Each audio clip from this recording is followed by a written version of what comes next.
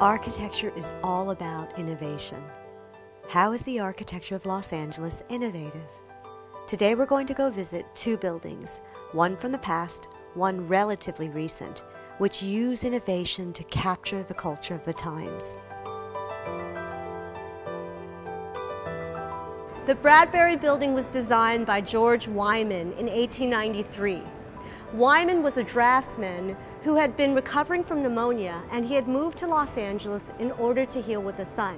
So you can see he was actually really obsessed with sunlight and health. In designing the Bradbury Building, Wyman was also inspired by a George Bellamy novel called Looking Backward. This was a utopian vision in which a vast hall of light, which came from a dome 100 feet above, which infused the entire space with a lot of sunlight.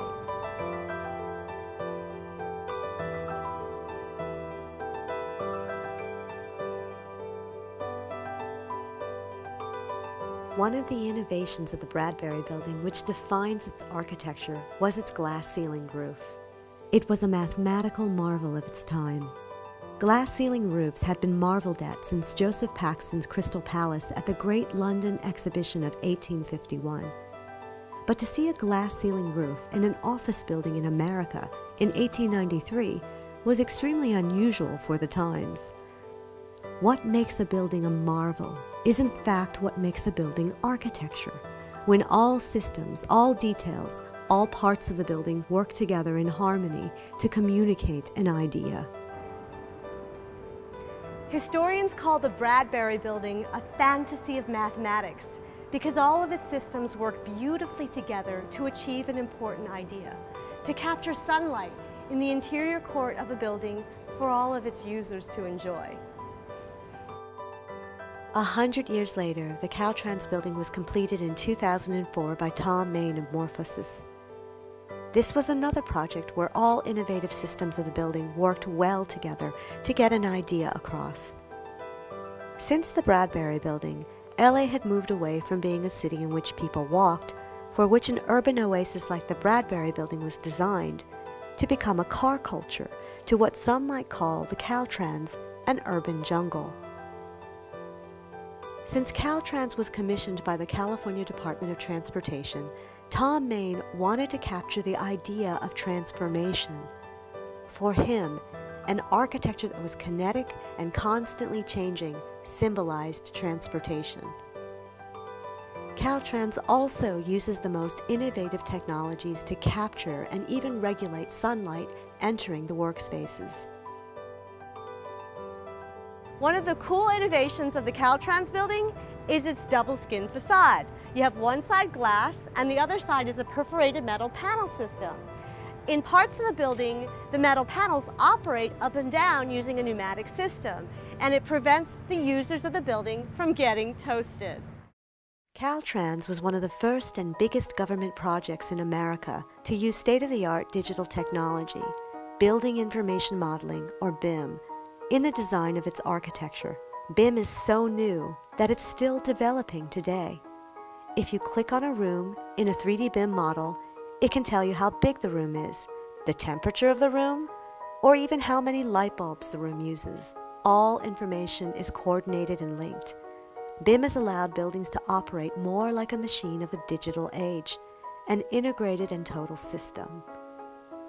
Another innovation in the Caltrans building is its skip stop elevators. So what does skip stop mean? It means the elevator stops at only floors number 1, 4, 7, 10, 13 floors. So Caltrans is not just about the mobility of automobiles, it's about the mobility of people. It's trying to get people to exercise more by taking the stairs. So what's really interesting about that is the architecture is taking an active role in people's health.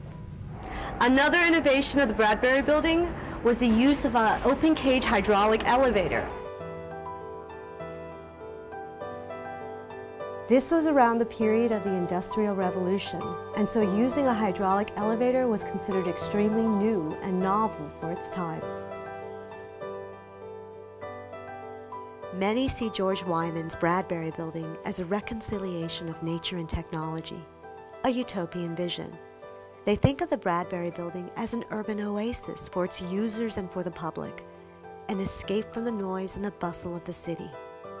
The one thing I love about this building is when I, I come in in the morning at um, usually before 4 o'clock in the morning, this is where I work out. And I love seeing this building from before dawn and watch it kind of come to life as the day progresses. The Caltrans building has become iconic for a digital age, a more dystopian vision inspired by science fiction. Many Hollywood films like to shoot at both locations because they inspire powerful images of our ideal dreams or alarming realities of our brave new world. Have you have you heard of other people describe this building in some way? What, what have you heard people say about the description? Um, I've heard of it as the Borg cube. the Borg cube. Borg from Star Trek. Borg cube. Yep, Borg okay. cube. Uh, the Death Star, Battlestar Galactica, a uh, kind of like a metal hospital. So yeah, Metal hospital. Yeah, So- not, not overly flattering. Well, but a lot of sci-fi references, yes, right? abs- you know, yeah, sci-fi and space. Yeah. Okay, that's but that's not necessarily a bad thing because um, when people identify with a building, whether it seems to be positive or negative, the most important thing that it's memorable. And I would say that if you were to call something a Death Star or Cyborg, uh-huh. then no one's going to forget the building. So both the Bradbury building and the Caltrans building are futuristic office workspaces that have some kind of public place. Whether it's an interior atrium or an exterior plaza, both of them have public places. Now, one building is more about being an interior space. The other is an object of visual fascination for people to relate to. Both buildings use the most innovative technologies to capture and regulate the sunlight and to create healthier buildings. The last thing about both buildings is that they are inspired by or inspire utopian or dystopian visions, whether it's through a science fiction book or all the multitudes of films that the buildings inspire to people who come and visit them.